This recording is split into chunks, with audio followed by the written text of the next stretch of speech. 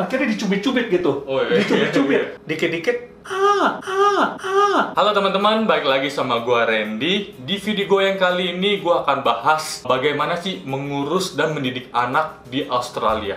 Karena itu berbeda banget sama yang di Indonesia. Di sebelah gua ini gua udah ada seseorang yang menurut gua itu orang ini tuh sangat hebat lah dalam mengurus dan mendidik anak. Gua pun juga hubungannya cukup dekat lah dengan dia. Dia udah gua anggap kayak anak gua sendiri lah. padahal padahal lebih senior gitu. Yuk langsung aja kita kenalan ya. Oke, kok boleh kenalan? Ya. Ah, hai, nama saya Fagus. Anak saya umur yang paling besar umur 12 tahun ini, yang kedua umur 9 tahun. Hmm. Tapi nggak hebat, Ren. Nggak Ya, hebat. Masih banyak belajar juga. Tapi kita semua masih banyak belajar. Menurut gua caranya Kofagus ini sangat bisa dijadiin contoh. Langsung aja kita go through ini ya. Kofagus nih di Australia udah berapa lama dulu? Dari tahun 2002. 2002. Iya. Jadi, wow, hampir 20 tahun tuh. Kan Iya. gue 10 tahun guys, teman-teman udah tahu kan. nah, Kofagus punya anak itu pertama kali pas Kofagus umur berapa? Menikah umur 29, umur 30 langsung punya anak. Emang saya rencananya mau langsung punya anak. Coba Kofagus bisa gak ceritain sedikit deh perbedaan yang paling mendasar punya anak di Australia dan di Indonesia. Yang paling mendasar aja. Paling mendasar kalau di menurut saya personal ya, personal pribadi eh, opini gitu kalau di sini lebih mandiri. Jadi waktu anak saya yang paling besar umur lima tahun, saya pulang Indo sekeluarga eh, anak saya umur lima tahun udah bisa makan sendiri. Eh, Tapi yang saya lihat di Indo itu umur 5 masih dikejar-kejar suster untuk Oh. dimakasih makan. Itu tapi itu apa yang saya lihat gitu. Jadi yang paling mendasar itu bisa dibilang kalau di Indo emang kebanyakan suster ya. Kurang lebih begitu. Iya, kebanyakan ya, kebanyakan, kebanyakan iya. suster. Kalau di sini kan bayar suster habis dompet kita. Iya, habis. Kita mesti sendiri gitu. Iya. Oke, jadi itu yang paling jadi yang teman-teman yang paling mendasar itu adalah kalau di Indo emang sih ada suster sih. Nah, Kok Fagus tadi kan kita per- perbedaan mendasar kan di Indo kan ada suster. Karena di Australia itu nggak ada suster atau nggak ada asisten rumah tangga, bagaimana sih Kok Fagus dan istri Kok Fagus itu membagi tugas lah dalam mengurus rumah dan mengurus anak? Sebenarnya ya saya kita bisa akui hidup di sini berat ya. Tapi ada satu hal yang saya inginkan itu bahwa saya yang bekerja. Kemudian istri saya itu Mengurus anak. mengurus anak, iya. Jadi sebelum punya anak itu kita sempat ngobrol. Jadi oke istri saya uh, mengurus anak sampai kira-kira nanti anak saya udah bisa masuk TK istilahnya gitu, pre-kindi gitu. Hmm. Tapi itu emang berat. Saya akui itu berat, tapi itu yang kita kita lakuin. Jadi saya bekerja, istri ngurus anak. Nah begitu saya pulang, saya langsung spend waktu dengan anak. Jadi Oh. pokoknya tidak pegang gadget. Kalau sampai sekarang pun is- anak umur 12 dan 9 tahun itu kita makan malam di meja makan, nggak ada gadget, kita ngobrol. Kok Fagus yang ma- setiap malam makan keluarga, no gadget lagi makan malam. Itu dari kapan? Dari anak umur 2 tahun kah, 3 tahun kah, atau 4 tahun? Dari satu tahun bahkan, kita ajak ngobrol dia gitu. Jadi emang dari kecil udah udah ajak ngobrol gitu. Dan di sebelah Kok Fagus dan istri Kok Fagus pun nggak ada handphone sama sekali. Iya nggak ada, nggak ada. Jadi selama jam dari saya pulang kerja sampai jam 8 itu kita nggak pegang gadget.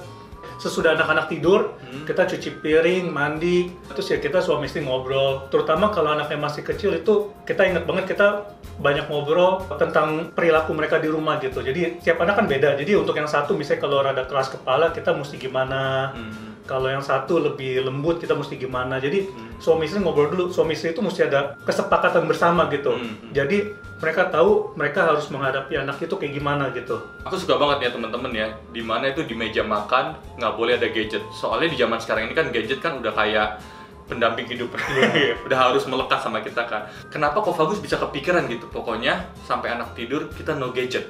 Apa yang ngebuat Fagus tuh bisa come up sama ide seperti itu?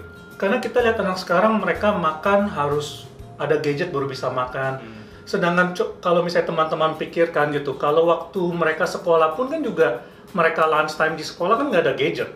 Jadi Iya. kalau di sekolah mereka nggak ada gadget, di rumah pun juga nggak ada gadget gitu. Hmm. Gadget itu ada baik, ada enggaknya juga gitu. Tapi kalau untuk anak kecil itu tuh orang tua biasanya secara gampang memberikan gadget supaya anaknya diem kan biasanya. Hmm, iya. Tapi itu sebenarnya membuat hubungan kita orang tua dengan anak makin jauh. teman-teman jadi itu perbedaan yang paling mendasar ya karena di sini itu nggak ada asisten rumah tangga dan suster jadi segala-galanya itu emang kita semua gitu ya Iya, kita semua kita semua. dan menurut aku sih karena aku juga punya anak dua gitu ya emang susah banget ribet banget Iya, ribet. ribet banget kadang tuh pengen me time gimana gitu tapi kan kita udah keputusan mau punya anak ya kita harus tanggung jawab ya kita, Iya. kita harus gitu. oke kita ke pertanyaan selanjutnya Kok Fagus di Indonesia itu pada umumnya ya cara mendisiplinkan anak itu kan hajar pukul Kok Fagus kecil pernah dihajar dong atau sering Wah, sering. sering sama kita berarti sama-sama Badung nah kalau misalkan di sini kan itu nggak boleh banget itu ilegal lah Iya. ilegal ya Benar. Nah, nah jadi bagaimana tuh cara Fagus dan istri itu buat mendisiplinkan anak? Kan secara otomatis pasti kita kan pakai caranya yang kita alami di Indo dong, Iya, pukul iya. gitu kan secara otomatis. Tapi kan karena di sini nggak bisa, nah Fagus ada gak? Cerita lah pengalaman Ko Fagus gimana mendisiplinkan anak. Randy kira-kira inget gak umur 2 tahun diapain? Ya, mana ingat? Paling inget sekecilnya umur berapa? ya? 6 tahun kali, 5 tahun kali. Iya, 5 tahun. tahun, 6 tahun. Jadi 2 kali tahun ya. inget kan? Iya, nggak tahu. Jadi gini, kalau saya gini nih, ini ini apa yang saya suka ngobrol sama Hmm. teman-teman gitu, teman-teman yang lain. Ini fak, ini disiplin, ini umur. Nah, dari lahir sampai kira-kira dua, dua tahun atau tiga tahun, sebenarnya pembentukan karakter itu dari nol sampai kira-kira umur 8 lah. Hmm. 8, 7 atau 8 itu pembentukan karakter. Nah, kalau yang soal pukul itu ya Randy ya, kalau kalau ini opini saya personal ya, dari 0 sampai 2, itu disiplinnya kita 100%. Jadi disiplin ini nih, saya disiplin. Jadi kalau udah no, no. Bahkan kalau misalnya saya pakai sistem warning. Jadi first warning ya, second warning, third warning. Nanti kalau third warning, ya saya sabar. Tapi tapi listen dulu. Kalau 0 sampai 2, kita nggak perlu sabar sampai kayak nggak perlu. Kita juga gini nih, Pelan aja. pelan aja tuh dia udah kaget dari situ tuh jadi mereka tahu kalau udah tertua udah third warning itu mereka harus ngelakuin. Hmm, hmm. jadi sampai sekarang pun kalau saya bilang gosok gigi sekarang first warning ya langsung pada gosok gigi gitu. Jadi saya nggak perlu capek-capek marah-marah lagi karena mereka udah besar. Hmm. nah jadi 0 sampai 2 itu disiplinnya 100% Hmm. atau sampai tiga tahun terserah kita lihat anak kita. Nah nanti di situ disiplinnya udah mulai menurun. Sebab ya dia udah nurut mau ngapain kita terlalu marah-marah Iya. istilah gitu. Udah nurun. Nah funnya yang naik ini fun. Ini garis ini yang satu lagi fun. Jadi makanya tuh anak saya itu pada bilang teman-temannya juga bilang gitu oh your daddy very funny. Ya so kadang-kadang kalau uh, saya nganterin sekolah gitu saya bercanda-bercanda gitu. Dia, dia pun juga bilang iya my daddy is very funny gitu. Sebab sebab waktu mereka udah umur 6 tahun gitu kita mulai banyak funnya gitu. Hmm. kalau yang sekarang itu yang saya lihat kebalik.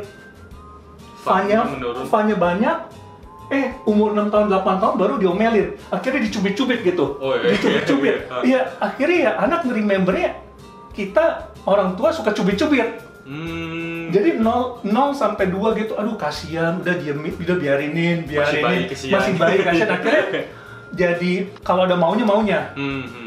Bahkan kadang-kadang saya suka ngeliat yang guling-gulingan di lantai. lantai nggak boleh ya. beli segala. Nah itu itu kayak gitu kan karena dari 0 sampai 2 nya itu dikasihan kasihan. Tapi akhirnya malah udah ada maunya maunya malah Fanny kita akhirnya turun. Akhirnya dia bilangnya ke ke, ke teman-temannya oh my daddy mah marah-marah mulu atau atau my mami marah-marah mulu. Jadi kalau mau disiplin menurut saya justru dari 0 sampai 2 kita disiplin. Itu dia kita mau omelin gimana dia nggak akan inget ya nggak akan inget tapi bukan omelin gimana tapi maksudnya dia nggak akan inget tapi di bawah alam sadar dia itu ya dia tahu kita dia harus nurut gitu kalau kita lagi fun fun tapi kalau kita udah bilang first warning ya mereka langsung tahu itu Hmm. itu suatu yang uh, harus dilakukan gitu Hmm. Oke, sekarang kita ke pertanyaan yang selanjutnya, tapi sebelum itu ikuti dulu pesan-pesan berikut ini.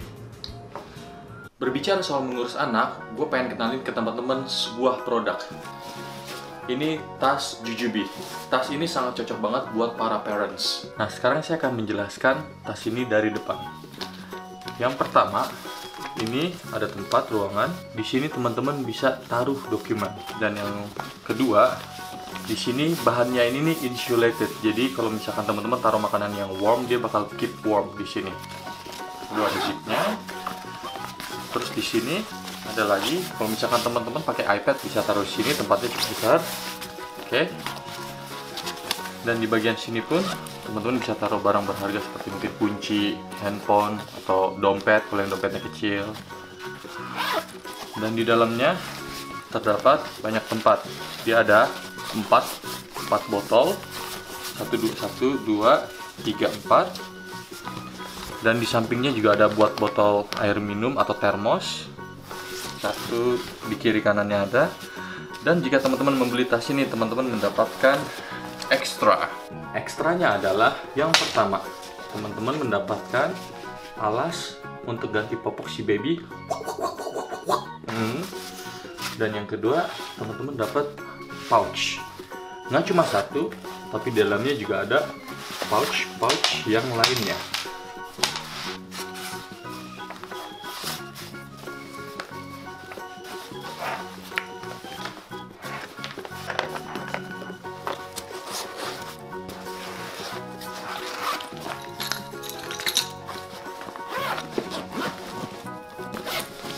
Jadi teman-teman langsung aja kunjungi websitenya yang sudah gue tulis di deskripsi dalam video ini dan juga teman-teman jangan lupa untuk follow Instagramnya karena ada banyak barang lainnya yang ada di website tersebut.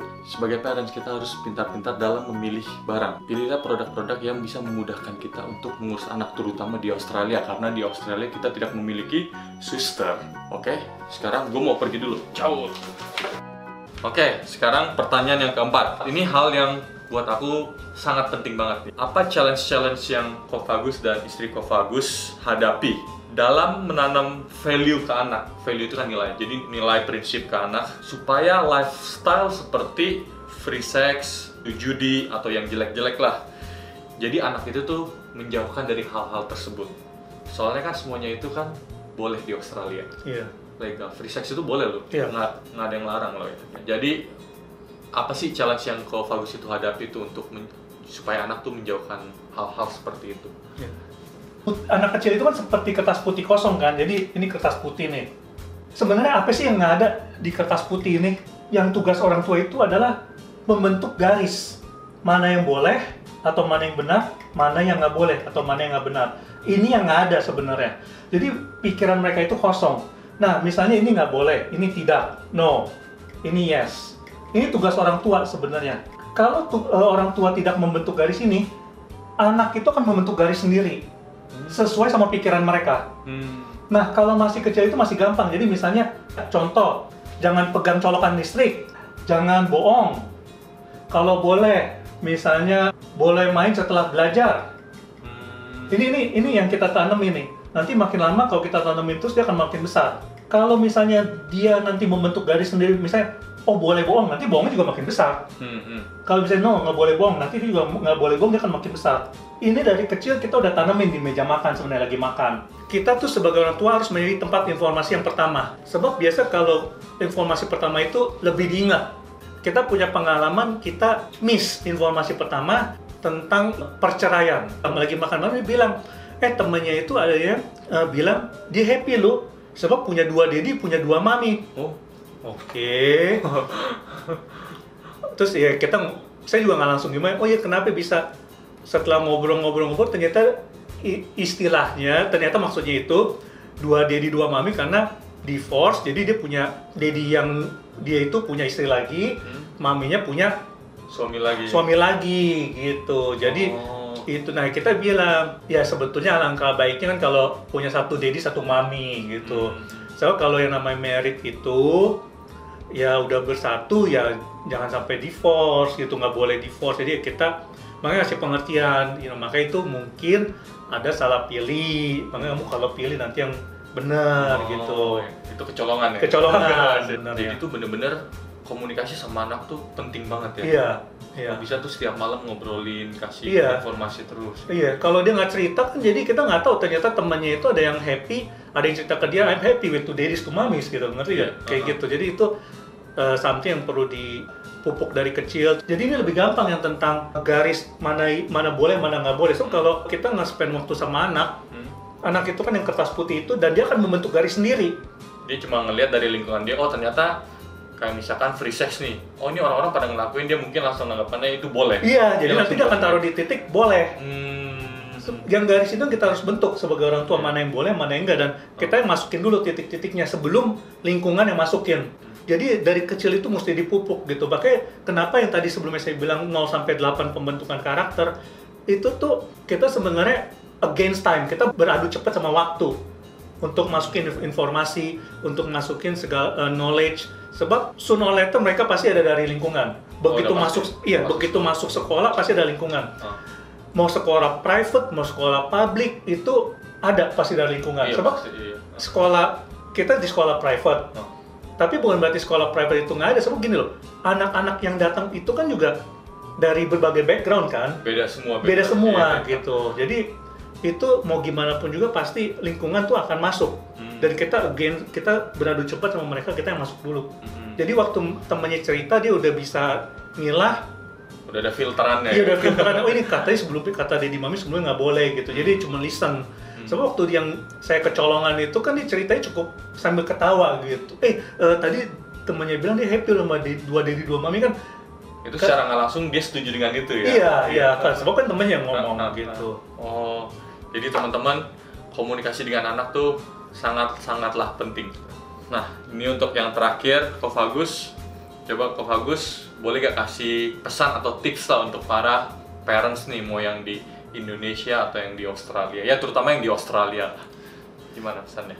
Ya bikin bonding sama anak. Itu yang terpenting supaya anak tuh ada komunikasi sama kita gitu. Jadi jangan teman baiknya adalah teman dia. Kalau bisa kita itu tempat sumber curhat pertama. Iya tempat eh, sumber tempat curhat pertama benar. Hmm, hmm. terus hal satu lagi gadget itu sekali lagi saya tekenin gadget itu bukan jalan keluar.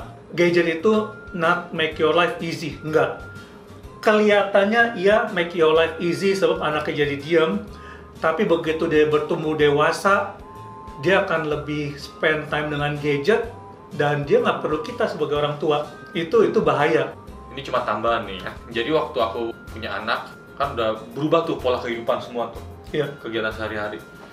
Dan aku pun kayak nyuci baju, jemur baju. Temen aku yang di Indonesia ngeliat tuh aneh. Lu kan suami, itu kan kerjaan istri lu. iya Nah ini yang beda banget kan. beda iya Jadi aku pun sebagai suami, ya aku kerjain kerjaan rumah tangga juga. benar Jemur baju, Iya. cuci piring. Iya, saya gitu. juga cuci piring, eh, jemur baju gitu. Itu kita di sini kan cuma suami istri. Itu ya kita saling sharing. Tugas itu nggak ada tugas khusus suami, nggak ada tugas khusus istri, nggak ada. Hmm. Dalam mengurus anak nih, adalah Iya. mengurus anak ya. Mengurus rumah tangga. Iya, mengurus rumah tangga lah Iya. ya. Nah, teman-teman ini menurutku pesannya kuat banget ya. Jadi terutama nih yang pertama, meskipun teman-teman adalah seorang ayah cowok, kan pemikiran orang Indo gitu kan dari dulu-dulu lah. Cowok bekerja, is- eh, enggak suami bekerja, istri ngurus semua rumah tangga. Iya. Tapi ya kalau bisa itu ya yang mau punya anak kan juga dua nih suami istri ya kita sebagai ayah gitu bantuin ganti popok ganti popok itu kayak gimana sih ya kita itu bukanlah sesuatu yang jijik lah ya. Bukan sesuatu yang kayaknya tuh kalau misalkan suami ganti popok tuh ah cupu lu. Bukan lah ya. Enggak, enggak. itu nggak mas sekali. Itu anak ya kita harus tanggung jawab. Justru seorang ayah yang mengganti popok itu tuh seorang ayah yang bertanggung jawab. Jadi ya itu jadi teman-teman paling penting yang pertama adalah itu apa nggak usah malu di sini pokoknya terutama di Australia ya karena itu nggak ada nggak ada asisten rumah tangga nggak ada suster. Jadi kalau yang punya anak suami istri itu haruslah bekerja sama. Nggak ada lah ini tugas istri tugas suami. Nggak semuanya itu harus saling membantu. Yang kedua yang paling terpenting adalah komunikasi. Iya. tanam prinsip-prinsip yang bagus yang benar itu karena pada saat anak udah masuk ke sekolah karena kan dia spend di sekolah kan seminggu lima hari ya. Iya. itu paling banyak dan dia itu udah punya jadi udah punya prinsip yang kuat filterannya kuat. Jadi kalau misalkan mau dibully lah atau diajak sesuatu misalkan contoh ngerokok nyobain obat gimana dia tuh udah punya prinsipnya kuat jadi Iya. bisa say no wah itu Iya. itu bagus anak seperti itu dan pokoknya yang terakhir itu yang pengen aku ingetin juga kita sebagai orang tua ya kita ini sebenarnya itu kita yang harus jadi sahabatnya mereka sahabat terdekat mereka. Ya, apa pun jadi apa pun yang mereka alami susah senang mereka cari orang pertama yang dicari itu kita bukan temennya si Bambang lah. Iya. Bambang terus yang jadi korban. Bukan temen tapi kita ya. Iya. ya itu jadi tips-tips semuanya ya. Jadi teman-teman itu aja buat video kali ini ya. Thank you banget buat Kok bagus nih ya. Sama nama Randy. ini emang kita pun masih banyak belajar lah ya. Iya. masih kita sama-sama belajar tapi kenapa aku buat video ini? Karena buat aku tuh di zaman sekarang banyak banget orang tua itu tuh yang gak mau pusing sama anaknya kalau buat aku anak itu adalah titipan Tuhan kepada aku di hidup aku ya kita harus usahakan yang sebaik mungkin Iya. Oke, teman-teman, thank you teman-teman yang udah mau nonton. Semoga video ini bermanfaat dan menghibur juga buat teman-teman. Thank you buat Ko Fagus sekali lagi. Jangan lupa teman-teman klik like, share, and subscribe. Sampai bertemu di video selanjutnya ya. Bye-bye. Bye. Mantap.